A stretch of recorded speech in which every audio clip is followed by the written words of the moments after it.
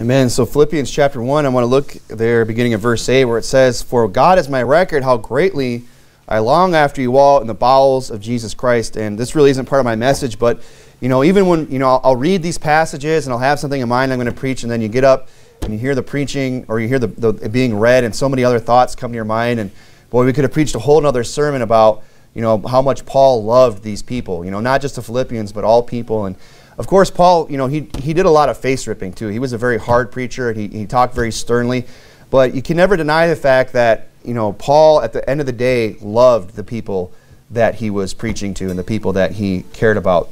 But, uh, and he goes on in verse 9, and of course, I'm not preaching about that this morning. I was just thinking about that uh, as, he was, as Brother Garza was reading. And it says in verse 9, And this I pray that your love may abound yet more and more in knowledge and in all judgment. You know, and then again, there's another sermon right there about how Paul's praying that we would abound in what? In all judgment, which would seem to go contrary to so many, uh, so much philosophy that's out there today in Christianity about you know judging not in the world, who would say you know you shouldn't judge. But here's Paul praying that we would judge, and that in fact we would abound in all judgment. So again, there's so many great uh, sermons just in these few verses here. And in fact, Philippians chapter one is a very famous passage and a lot of great sermons been preached. But the part I want to focus on there is in verse 10, where it says, That you may prove the things that are excellent, that you may be sincere and without offense till the day of Christ, being filled with the fruits of righteousness, which are by Christ Jesus, unto the glory and praise of God. So he says there that he wants them to be sincere. And of course, what does the word sincere mean? It means to be free from pretense or deceit proceeding from genuine feelings. That's what Paul's saying here. He wants them to prove the things that are excellent and that they would be sincere, that they would the things that they say and do and their service to Christ would be real, that it would proceed from uh, a, a, a genuine feelings, right? That it wouldn't be pretentious, that it wouldn't be deceitful, that they wouldn't be putting themselves out there as something that they indeed are not. And notice here how sincerity is associated with truth. And if you'll uh, pay attention throughout the sermon, when we look at several different passages, you'll see that again, how often sincerity and truth are mentioned in the same breath. He says in verse 12, But I would have you understand, brethren, that the things which happen unto me have fallen out rather unto the furtherance of the gospel, so that my bonds in Christ are manifest in all the palace and in all other places.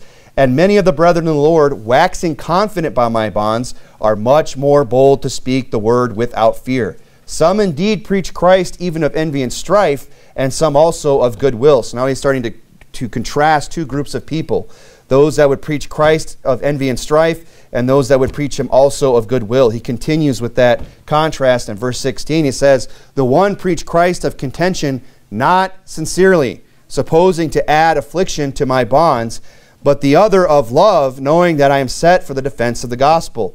What then? Notwithstanding every way, uh, whether in pretense, right? That was the one group, the pretense, those that were preaching it not sincerely, those that were preaching it, you know, add, hoping to, supposing to add affliction to his bonds, those that would preach uh, whether in pretense or in what? Or in truth. Christ is preached. So you see here that to be sincere or to be not sincere is to be pretentious, to be in pretense. Those that would preach Christ not sincerely are preaching in what? In pretense. And what is pretense? It is an attempt to make something that is not the case appear true, right? Basically, it's being fake, it's not being genuine. It's a false display of feelings, it's a false display of attitudes or intentions. It's making yourself out to be something that you're not or presenting a situation as something that it's not. It's being pretentious. An insincere person is a pretentious person. That's what we see here. That they're not preaching Christ sincerely, but in pretense. And it says, uh, you know, you know that they, this would make them an, uh, an insincere person as a, as a pretentious person. Pretentious, attempting to oppress or by affecting greater importance, talent than is actually possessed. Okay? So that's what Paul is saying here this morning, that he wants the Philippians to be sincere. And not to just, you know, uh, you know, in the sense that they're not fake, in the sense that they're not just putting on a show, but that what they're doing is coming from a place of genuine care and emotion and feeling, that they actually think, care about the things of Christ, that that's where uh, their service towards God is coming from, from a place of sincerity. And really that, you know, Paul was the leader here in Philippians, or he was, you know, he wasn't the pastor there or anything like that, but he was definitely, you know, he was the one that had bought, begotten them again in, in, Christ. He was the one that had preached the gospel to them when he went out on his missionary journeys and, and got people saved and uh, brought that church together. And this was his desire for them, you know, and he wanted them to have a sincere, honest, and real walk with God. You know, and that's the desire of every, you know, uh, preacher, every spiritual leader, every, you know, pastor, deacon, whatever it is, anybody that's overseeing a flock, their desire, if they're sincere, is that the people that they're preaching to and overseeing, would they themselves have an honest and real walk with God? Not just show up, you know, and, and look the part and play the part and, and say the right things on Sunday, say the right things at the midweek service, do the soul winning. But the other times when people are not watching, when the preacher isn't there, when the other uh, brother and, brethren and sisters are not around, that those people would still have a very real walk with God day in, day out, serving the Lord with sincerity. And that's the title of the sermon this morning Serve God with sincerity. You know, that ought to be a desire in our life that we serve God sincerely. You know, out of a place of genuine feeling that we desire, that we love God, that we're going to serve Him no matter what. That we're going to serve God because we want to, not just because we feel like we should. Now, if you would, go over, keep something in Philippians, but go over to Joshua chapter 14. Joshua chapter 14. and in Joshua chapter 14, we'll find, of course, a very familiar passage where it begins reading in verse 15. And if it seem evil unto you to serve the Lord, choose ye uh, this day whom ye will serve whether the gods of your fathers, uh, which your fathers served that were on the other side of the flood, or the gods of the Amorites in whose land you dwell. Then, of course, the last part there is the one that everybody paints on their wall at their house. You know, this is the one you can get the Hallmark card, or you can get go to the get the decorative picture, and that's fine and good. It says, "But as for me and my house, we will serve the Lord." Very famous passage, right? But back up, verse 14. Now, why was Joshua able to say that? That he was going to, you know, uh, serve God and that it didn't matter what anybody else did. He said, For me and my house, we will serve the Lord. And what was he imploring these people to do? When he's saying, Look, put away the gods of the Amorites, serve the Lord like I'm going to do. He says in verse 14, Now therefore, fear the Lord and serve him in what? In sincerity and in truth, and put away the gods which your fathers served on the other side of the flood in, in Egypt, and served ye the Lord. So he's telling them to put away these false gods. Now, it's kind of strange that he has to tell them that because you would think, I mean, these are the people that came over into the land, helped conquer the land of Canaan. They've done all these great, mighty works through the power of God. In fact, I believe if you even asked these people at that time, hey, do you, do you love the Lord? They'd say, yeah. But at the same time, they have these other false gods. They have these other you know, they, they've just kind of added the Lord to all these other gods. And he's saying here, look, if you're going to serve God in sincerity and in truth, if you're going to serve God sincerely in your life, you need to put away these other things. You need to get away, you need to put away the gods which your father served. You know, we as Christians, we have to keep that in mind too, especially those of us, you know, that maybe are come, have been saved later in life and are coming into life uh, out of, you know, a life of worldliness, a life of sin, or whatever it is you know, we need to learn to put away those things that we used to, you know, uh, allow ourselves to enjoy or do or whatever it is. The ungodly things, the ungodly habits, the sins, whatever it is, the old baggage that kind of hangs on that we don't want to quite get rid of. It's like there has to come a point in your life where you put that away once and for all. And you're done with it and you move on. Why? Because you're serving God sincerely and in truth. We're not just going to add Jesus, you know, to a wicked life. so serving God, and if you would go over to 1 Corinthians chapter 10, 1 Corinthians chapter 10. Serving God with sincerity, you know, means putting away that which is sinful. I mean, that's what Joshua was saying there. Look, serve him in sincerity and truth and put away the gods which your fathers served. If you're going to be sincere, if you're going to be real, you're going to have to put away these other gods. And you're going to have to decide that you're going to serve the Lord and him alone. And this is a principle that's taught throughout Scripture. You'll look there in 1 Corinthians chapter 1. In verse 21, it says, You cannot drink the cup of the Lord and the cup of devils. you cannot be partaker of the Lord's table and the table of devils. And that just makes sense, doesn't it? Now, we don't often think about that in, in these terms, right? We would say, well, yeah, I'm serving the Lord, and, and I know He doesn't approve of, of this or that in my life, or this sin or that sin, or maybe I need to quit doing this or quit associating with, you know, whatever it is that you know that the Lord disapproves of. We don't think about it in those terms. It's the devil's table. And maybe if we did start to think about it more like that, maybe if the people in Joshua's day would start to think about the gods that they served as, you know, wicked, evil devils, they would be more prone to get rid of those things in their life. Maybe if we let sin become more exceedingly sinful unto us, we would start to say, you know what, I don't want this. I'd rather serve God sincerely than to try to, to, to, to live one foot in the world and one foot with the Lord. That's an unbalanced walk. You know, people, you know, try to live the Christian life that way. You know, they want to serve God Sunday, they want to serve God in the midweek, but the rest of the week, you know, they just they don't want to read the Bible. They don't want to listen to the preaching.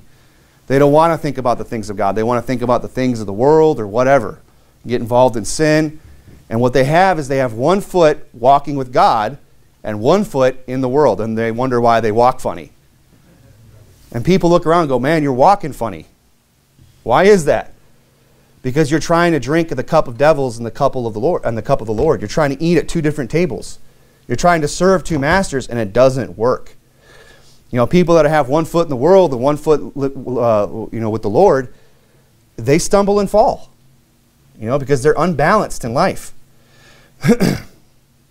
so we see here that to serve God sincerely, we're going to have to put away that which is sinful, put away that which is false, put away that which the God, which God would disapprove of in our life. and some things, you know, are not all things. Now, not all things are inherently sinful, are they? And some things that we get involved with that maybe they're just taking too much of our time, maybe that's just, you know, too much of our affection, those things are not inherently sinful. But they still need to be purged nonetheless. And here's the thing, and this is kind of what I want us to understand this morning is that, and I, I know I've alluded this even recently, is that God's not just going to stand passively by if we fail to do this in our life. God's not just going to, you know, suck his thumb and, and boo hoo about it and be disappointed. God is a God that actively works to bring his children around. And I'm glad he does.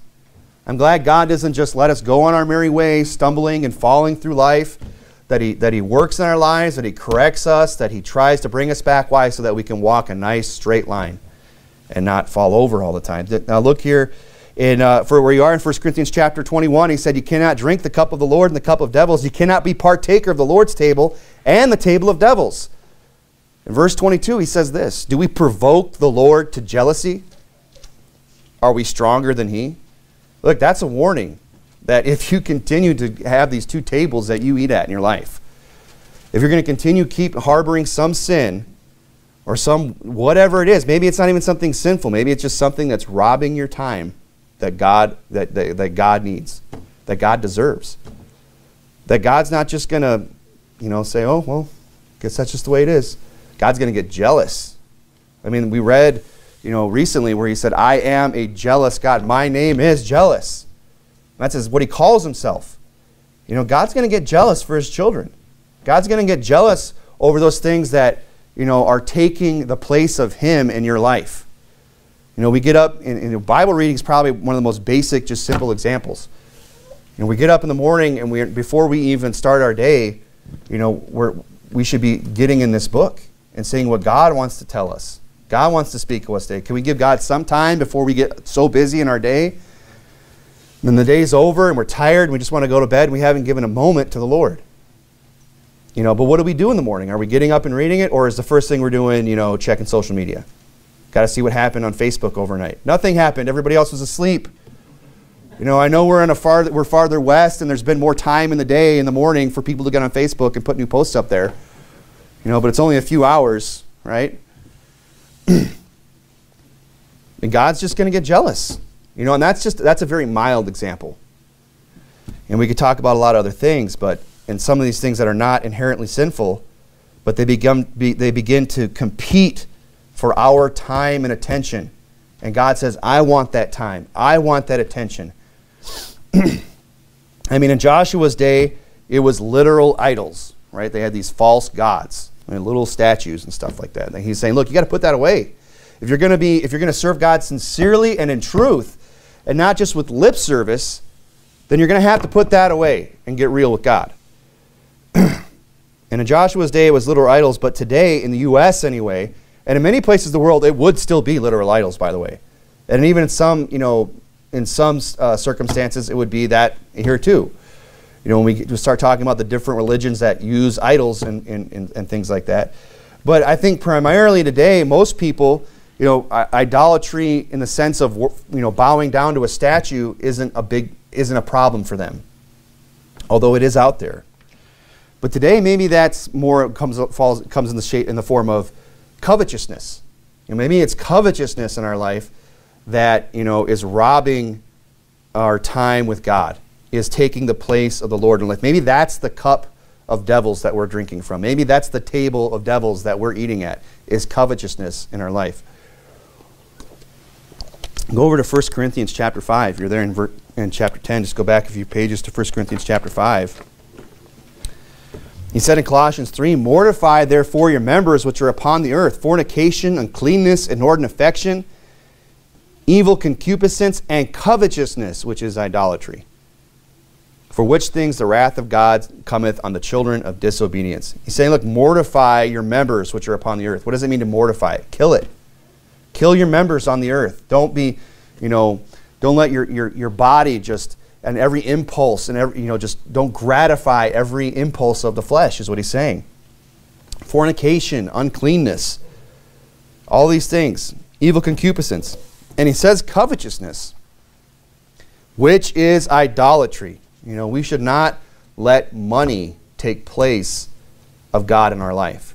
You cannot serve the cup of, you cannot drink of, of, the cup of the Lord and the cup of devils. You cannot be partakers of the Lord table and of and the tub, table of devils. What did Jesus say? You cannot serve God and what? Mammon, which is money. and if we're going to get sincere, if we're going to serve God sincerely, and this is just one example. You know, it would take all morning to sit here and go through every possible thing that could creep into your life and keep you from serving God sincerely. This is just one example with, with covetousness. He says in 1 Corinthians chapter 5, look at verse 7, Purge out therefore the old leaven, that ye may be a new lump, as ye are unleavened. For Christ our Passover is sacrificed uh, for us. Therefore, let us keep the feast not with old leaven, neither with the leaven of malice and wickedness, but with the unleavened bread of sincerity and truth. Look, we got to purge the sin in our life and get it out of our life.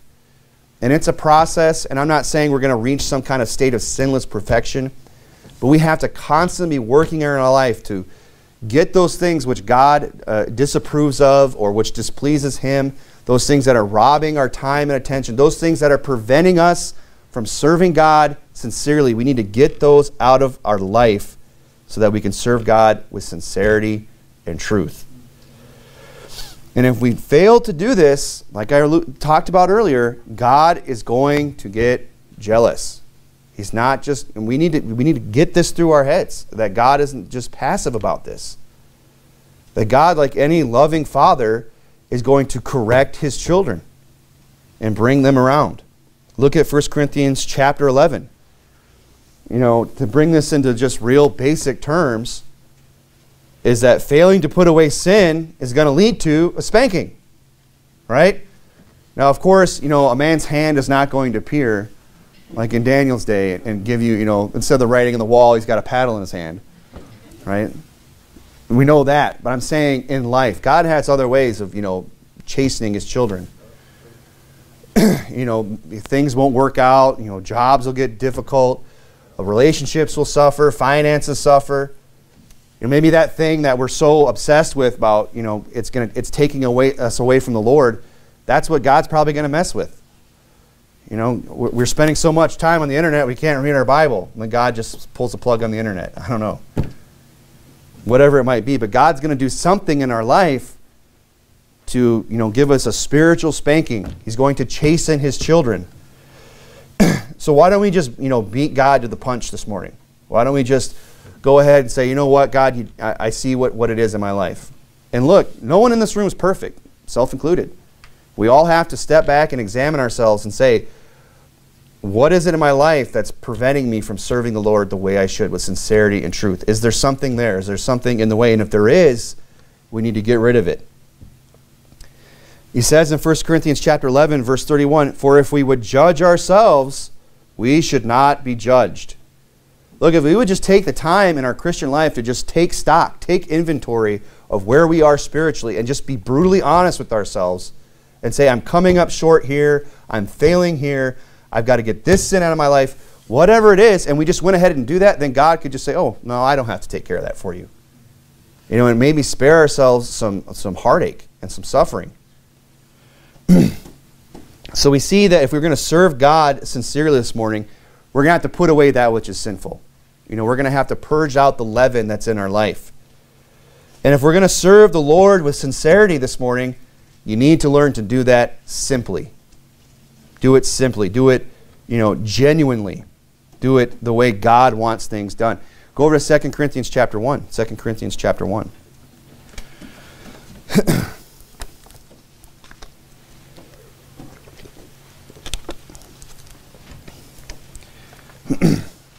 you know, God has a way that He wants to be served. God has a way that He wants us to serve Him. And he, it's not just this open ended book where He just says, Serve me however you see fit. And this is important to understand because people have a lot of ideas in their mind about what it means to serve God.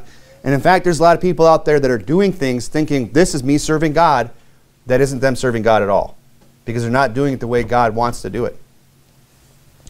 We need to learn to serve God the way he wants to be served. Serve him simply. Look at 2 Corinthians chapter 1 verse 12.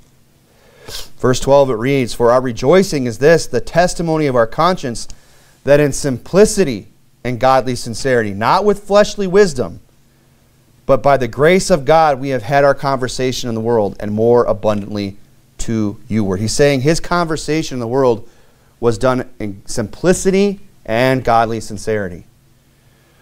so we need to, and it was not with fleshly wisdom. Was that's he's saying, look, our testimony of our conscience uh, that they, you know, they weren't, uh, you know, serving God the, the way the world would have them to serve God. They were serving God the way He wanted them to serve them. And the fleshly wisdom, you know, that's often, you know, the world has a lot of ideas about there's a better way to serve God. You know, and even churches, we start to, people can start to think of ways of saying, well, I know that God told us to do, th- do things this way, and if you would go over to Acts chapter 20, but wouldn't it be better if we did it this way? And maybe humanly speaking, it might even sound, well, that, that sounds better if we did things differently. Why do we have to do things the way we do things? Because that's the way God wants them done. that's what the, the fleshly wisdom suggests that there's a better way to serve God other than the way which He has prescribed.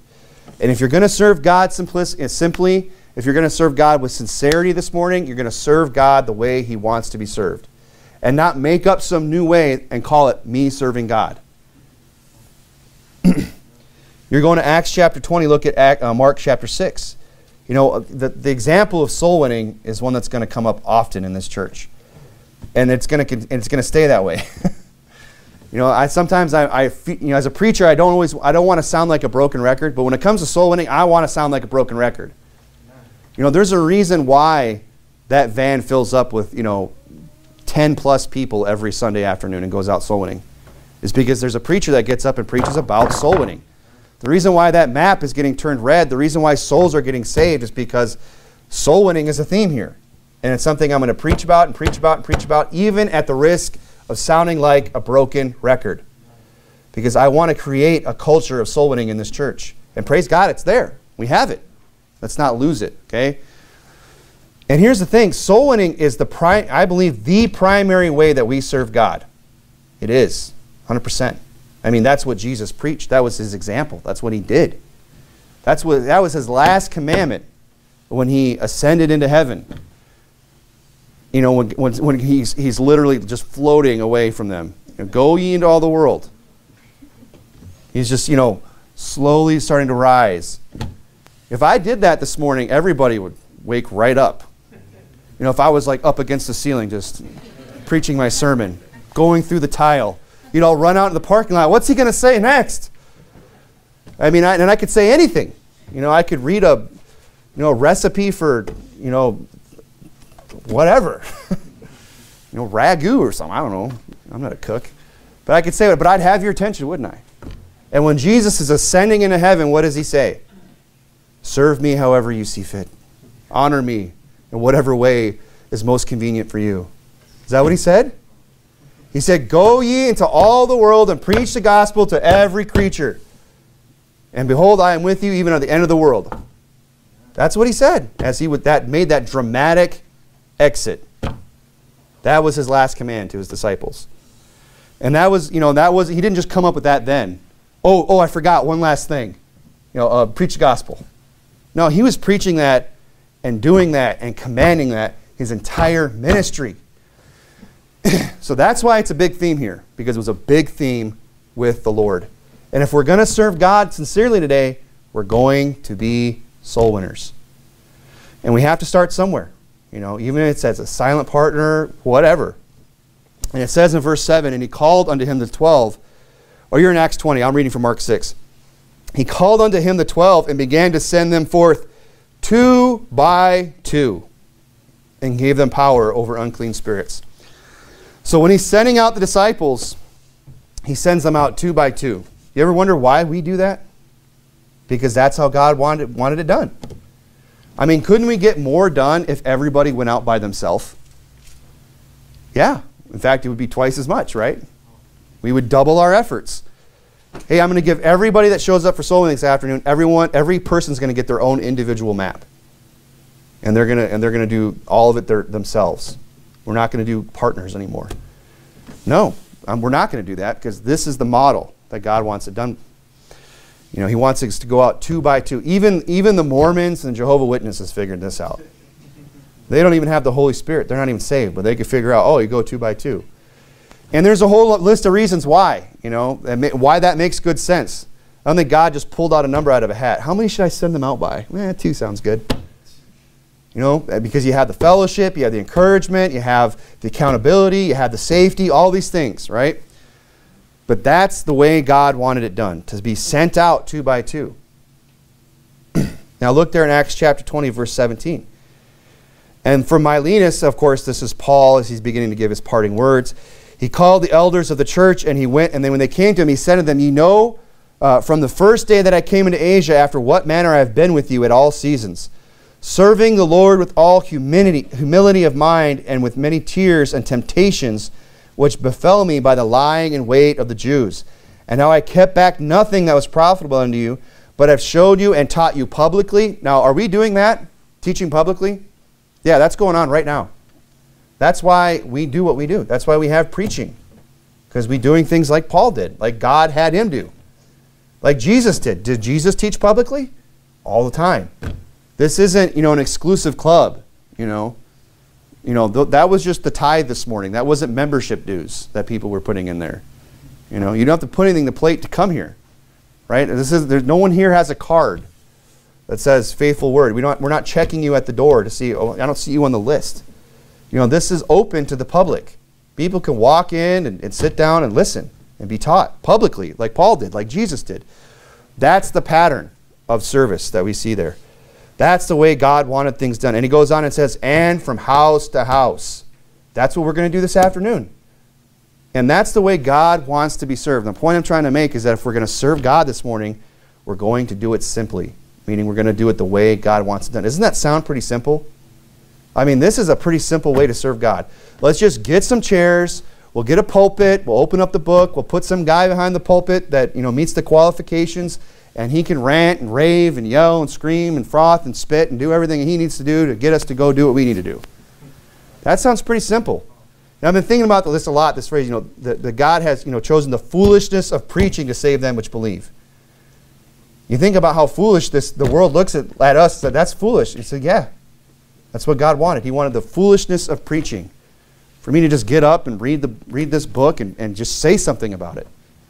And we would say, how does that do? How is that serving God? I, I don't know, but he, that's how he wants it done. And he gets all the glory for it. Doesn't it sound simple to just gather here and, and have the preaching of the word, teach public? It sounds pretty simple that we're just going to go out two by two this morning and just go knock doors house to house and ask people if we can show them how to be saved. That's simple. But the world, the fleshly wisdom, they don't want to serve God sincerely. They don't want to serve God in, sim- in simplicity and, and, and sincerely. They don't want to serve Him like that. They want to come up with some new way, some better way of serving God. You know, and even, you know, well intentioned churches, they come up all kinds of different ways besides what God has prescribed. And I'm telling you, it's insincere. It's insincere that it's not what God, the way, because it's not what God wants. Because they're not serving, they're not looking to serve God the way He wants to be served. They're looking to serve God as, uh, uh as they see fit, as suits them, as is convenient for them. and we could talk about all the different ways, you know, and probably one would be, you know, people that just want to hand out invites to church. Not even knock the door. We're just going to put a door hanger on and then run away. Look, we hand out invites. You know, while we're there, we might as well leave an invite. You know, people come out because of invites. but that's not how God wants us to serve. He wants us to go door to door, knocking the door, and, and teaching publicly and from house to house. Look, it would have done me no good yesterday to be out there for all those hours that we were driving up and down that mountain, over the river and through the woods, as it were, you know, knocking those doors and inviting people to a church that was six hours away. You know, well, that would have made no sense. Hey, we're just handing out invites. You know, let me just leave this in their gate and get out of here. No, that we need to preach to them. We need to open up the Bible. We need to tell them, look, God wants you to be saved and, and preach them the gospel. And that's how God wants to be served this morning. And it's simple, isn't it? And if we're sincere, that's how we're going to do it. We're not going to come up with some newfangled way of trying to serve God. We're going to do it the way He prescribed.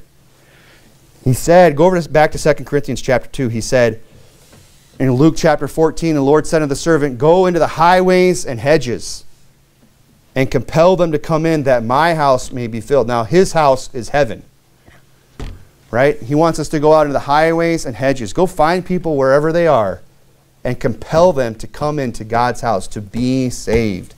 That's what God wants this morning. Go over to 2 Corinthians chapter 1, look at verse 12. he said, For our rejoicing is this, the testimony of our conscience, that in simplicity and godly sincerity, not with fleshly wisdom, but by the grace of God, we have had our conversation in the world and more abundantly to you word. Now I love that he says there, you know, our rejoicing is this, the testimony of our conscience. that they, what was the testimony of their conscience? That in simplicity and godly, sincere, and godly sincerity they had had their conversation in the world. That they had lived their life simply doing things the way God wants them done in godly sincerity. They were serving God in truth. And because of that, you know, that was the testimony of their conscience. You know, if you serve God simply and sincerely, it's going to help you sleep at night. it's not going to keep you up going, oh boy, I know I'm doing all these things all day that God doesn't want me to do. I know I'm completely backslidden. And then you wonder why you're tossing and turning, and you wonder why you're always under conviction, or why we're always depressed, or why you know things don't seem to be going right, or why we're always in a bad mood. It's because your conscience is bothering you because you're grieving the Holy Spirit. You're quenching the Holy Spirit in your life. That's what sin does in our life. It quenches the Holy Spirit. It grieves Him. And God starts to work, and, and maybe, you know, maybe we have a long, restless night. but He's saying here, look, the testimony of our conscience. You know, we did things right. We served Him simply. We did it in godly sincerity. That was our conversation. You know, we're not going to have to worry about whether or not God is pleased with this church if we're doing things the way God wants them done. Because God, you know, people would look in here and, and walk in and say, "This church is this church is a failure. This is all the bigger your building is. You only have this many people. You guys aren't. You're not succeeding. We're, you got to get into the stadium. You know, you got to get the mega church. That's that's success, brother, right there. Joel Osteen, that's success. You know, when you're when you're you know renting out entire stadiums, when you just have a mega church, thousands of people, that is success. Is that how God measures success, just by numbers?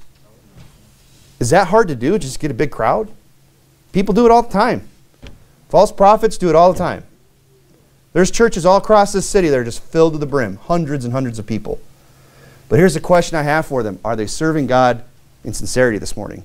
Are they doing things God uh, the way God wants them done? Is that preacher getting up and preaching the whole counsel of God? Is he sincerely, uh, you know, is he, is he doing like Paul did and, and preaching them everything and holding nothing back?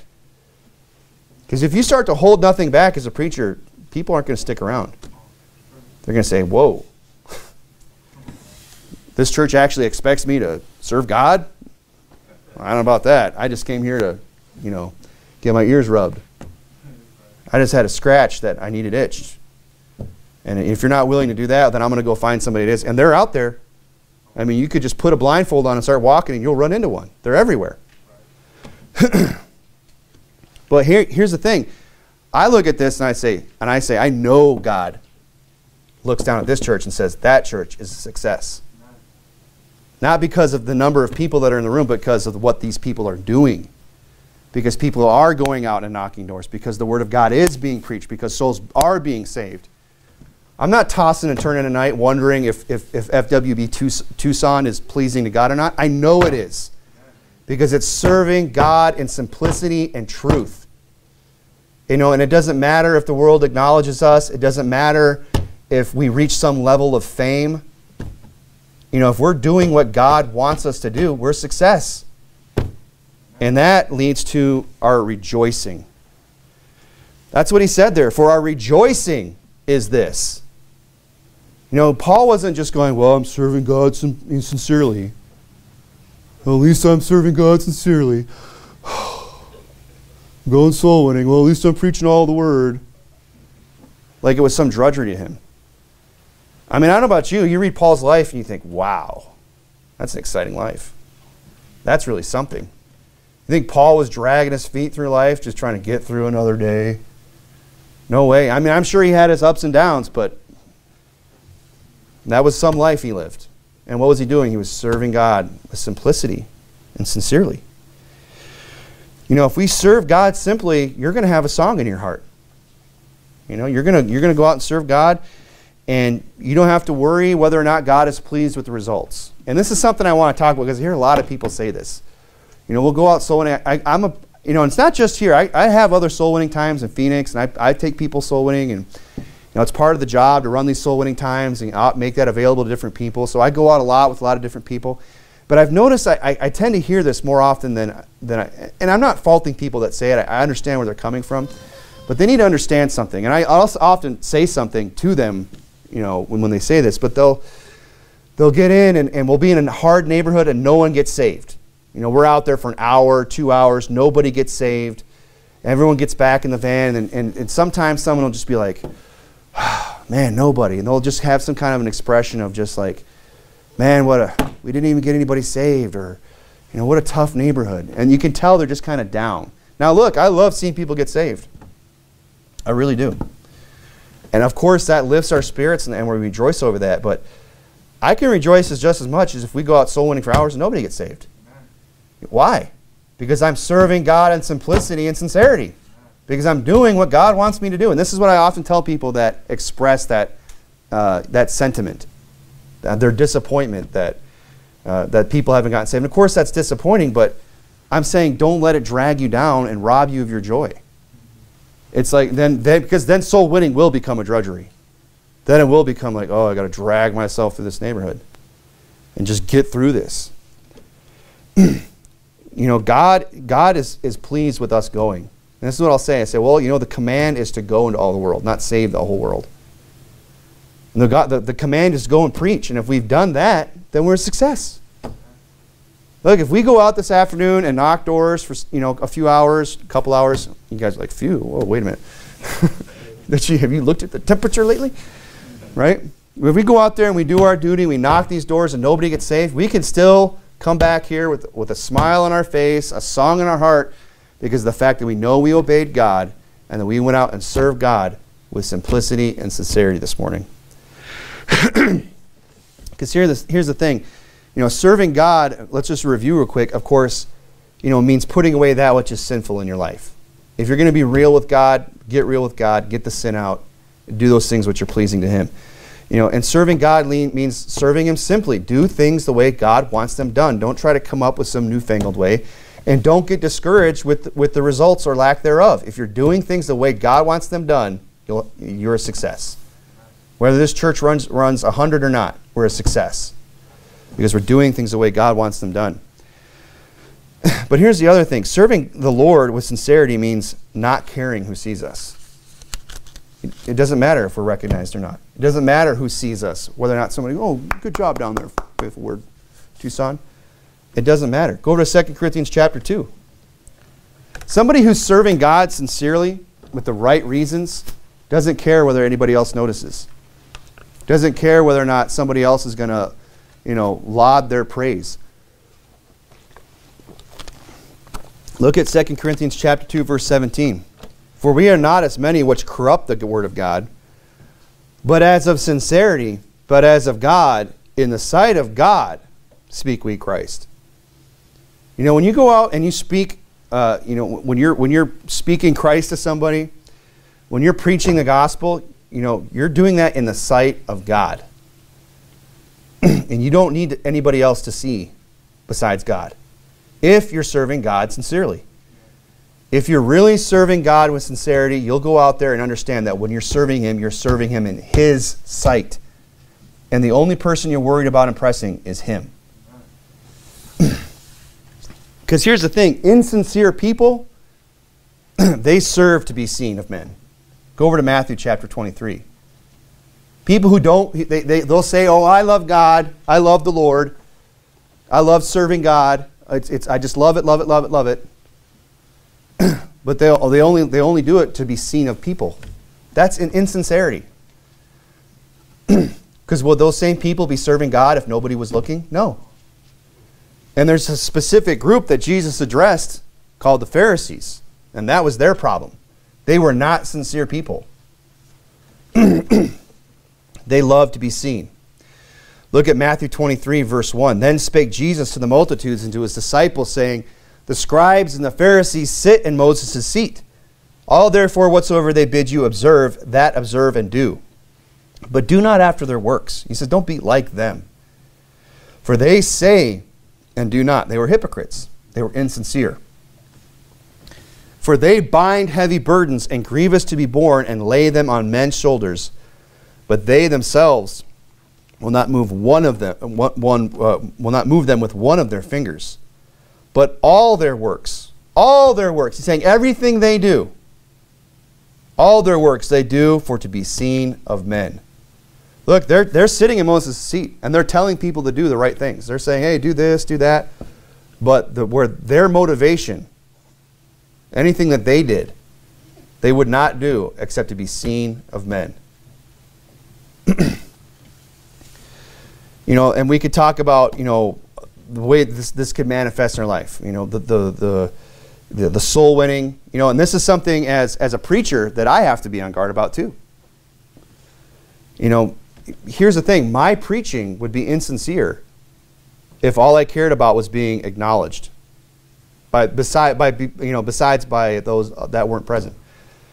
If all I cared about was people who weren't even in this room acknowledging me, if I was just up here preaching so that I can press somebody on the internet, my preaching would be insincere. Because that's then those would be the people that I care about. Those would be the people that I, I'm, I'm concerned with. That wouldn't be genuine. That would be insincere. But because I am concerned about the people in this room more than anybody else, you know, my preaching is sincere. At least I feel like it is. I mean, you think what makes more? What do you think matters more to me as a preacher? That I get 100 views on YouTube, or that one person in this room hears one thing in one sermon that maybe just changes their life a little bit and makes them a better Christian? What's going to last longer for me as a reward for a preacher? The fact that you know somebody you know acknowledges, you know, leaves a comment or shares my video, whatever. That I get some online acknowledgement. You know, that's a fleeting reward. That's that's it's nothing.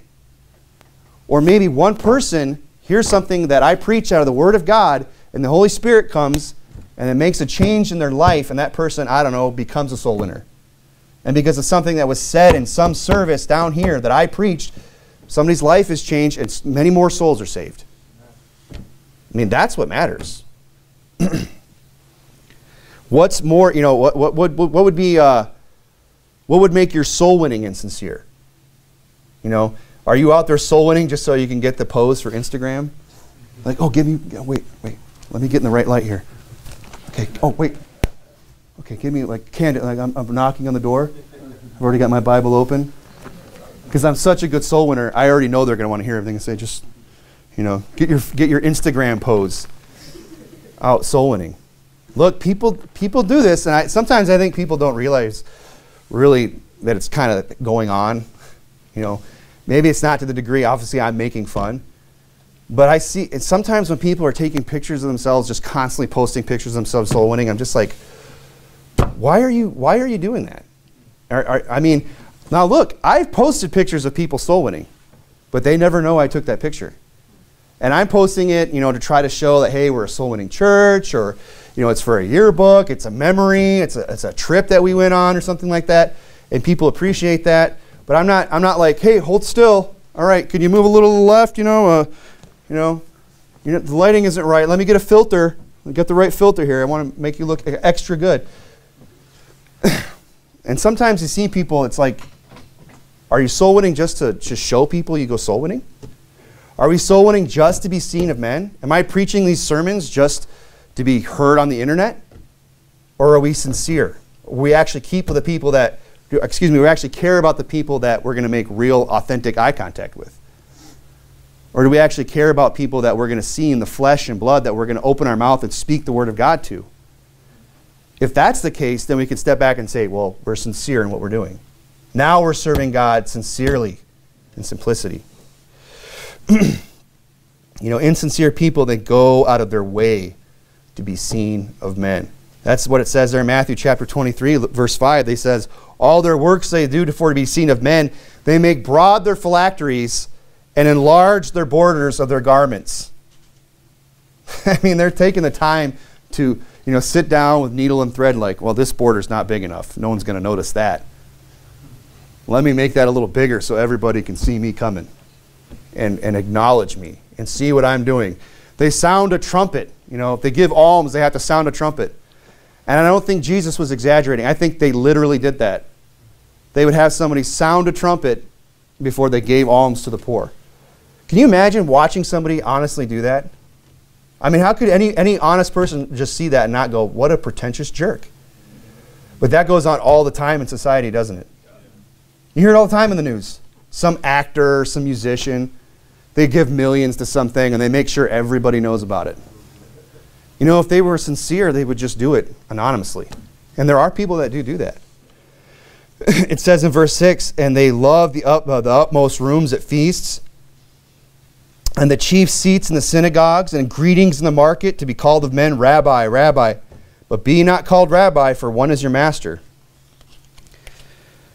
you know so we see that insincere people you know they they serve god because they just want to be seen of men they're not doing it genuinely they have the wrong motives Whereas, by contrast, people who do want to serve God sincerely, they don't mind going unnoticed.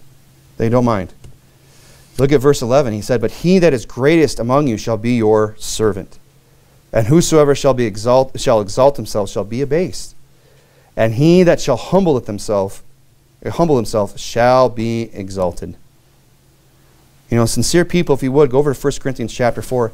They don't mind going unnoticed they don't mind if, if they're not, you know, if they're, if they're, uh, no one's going to see their Instagram post. They might not even have an Instagram account. Look, if you have an Instagram account, I'm not against you. Have one. Go ahead. Post on it. It's fun. Right?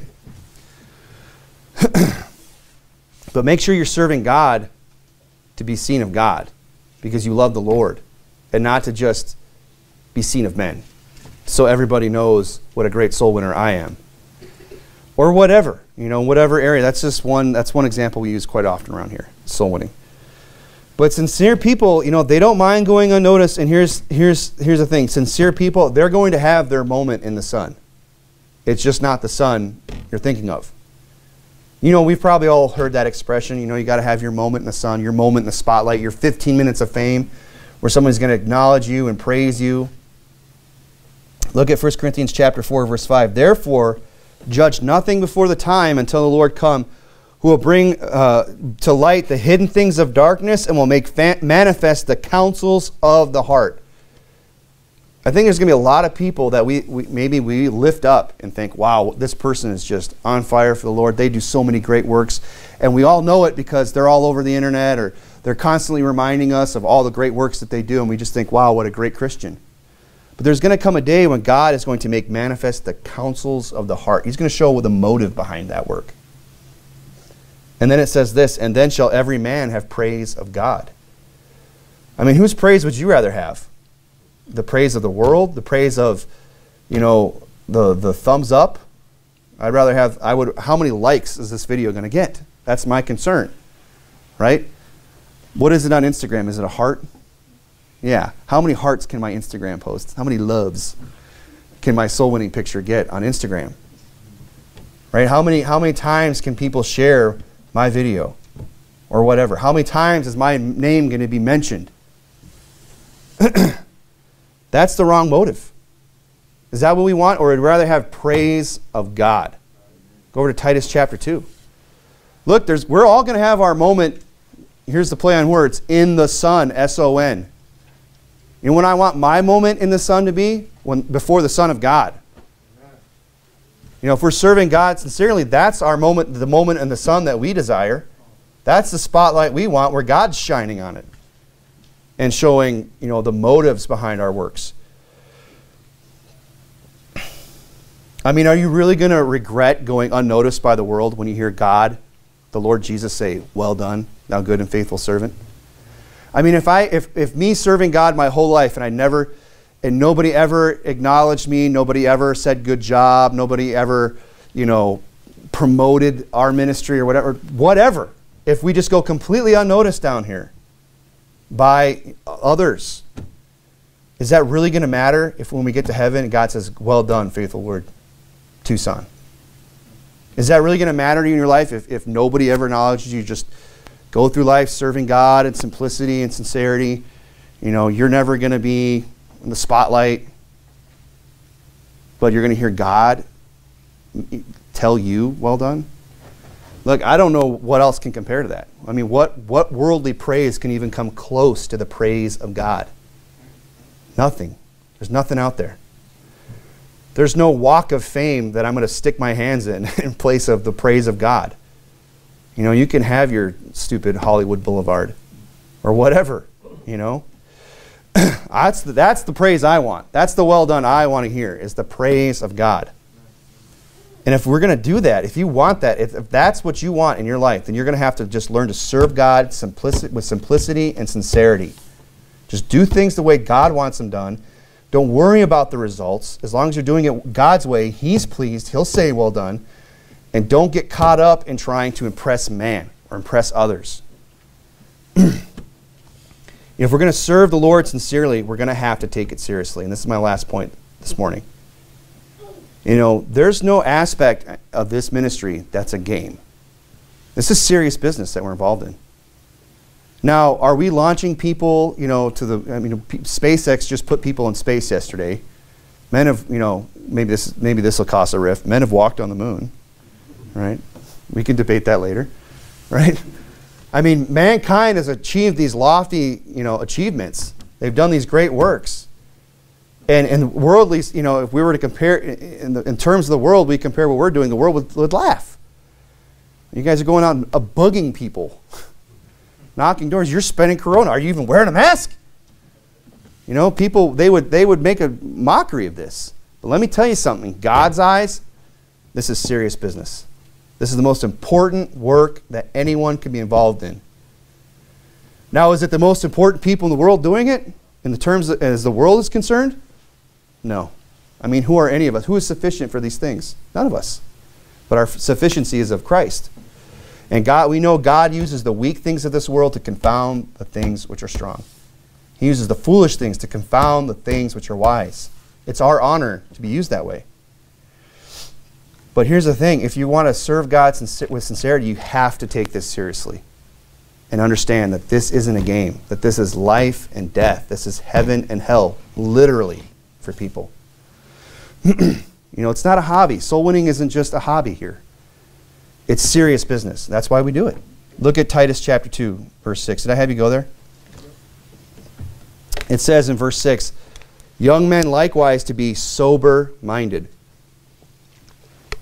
of course, that's referring to the fact that you shouldn't be, you know, taking anything that would impair your cognitive processes, right? You shouldn't be know, smoking pot, and taking drugs, or drinking alcohol. You shouldn't be doing these things. That's that's one sense of being sober-minded. But it also sober. Also, another meaning of that word is to be serious, to be a sober person, to be a sober-minded. In all things, showing thyself a pattern of good works in doctrine showing uncorruptness, gravity. That's another sincerity. He says gravity, sincerity, being sober. Taking the work of God seriously. Sound speech that cannot be condemned. Look, if we're going to serve God sincerely this morning, we're going to have to be sober minded about it. We're going to have to be grave about it because it's serious work. And lastly, this serving the Lord sincerely is done out of love and not of duty. If you would go to Ephesians chapter 6. You say, well, I don't, I don't feel like, I mean, I'm here, I, I, I, I serve, but it doesn't feel sincere to me. Well, are you doing, what are you doing it? Are you doing it out of just duty? Are you doing it because you love the Lord? If you're going to serve God sincerely, I mean, I don't care how serious you are. I don't care. Maybe you don't even have any social media. No one's ever going to, you know, mention you. you. You understand. You're fine with all that. But if you're not doing it out of a place of love, you're not doing it sincerely. I'm doing exactly the way God wants it done. I'm out two by two. I'm knocking the doors. I'm not, you know, trying to be get my name out there as some big shot. I'm not doing any of that. But if you're not doing it out of love, you're falling short. Look at Ephesians chapter 6. He says this in verse 23. Peace be to the brethren and love with faith from God the Father and the Lord Jesus Christ Grace be with you, be with all them that love our Lord Jesus Christ in sincerity. You know, we want to love God and serve God in sincerity. And if we'll do that, you know, God, grace will be with us. God will help us. God will help, you know, give us grace. you know, if we love God, if we're going to serve Him sincerely this morning, you know, the God that saved us, the Lord that came here and bled and died to save our souls, if we're going to serve Him, we're going to sincerely this morning, we're going to do it out of love and for no other reason. Why do you serve God this morning? Is it because you love Him? If it's because you love Him, then you can say that, I, that you're serving God sincerely. That's the one reason we should serve God. And if we would just learn to love the Lord and just serve Him with as that, as our own only driving force behind us. I serve God because I love Him. You know, all these other things will just fall into place. I love the Lord. I want to serve Him. How does He want it done? Just tell me, I'll do it. Just, just show me in the book how God wants to be served. I don't care how He, how he tells me to do it. I'm, that's how I'm going to do it. Why? Because I love Him. that's how you'll know you'll be serving God sincerely this morning, when you're doing it for that reason alone, because you love Him who loved you. Let's go ahead and pray.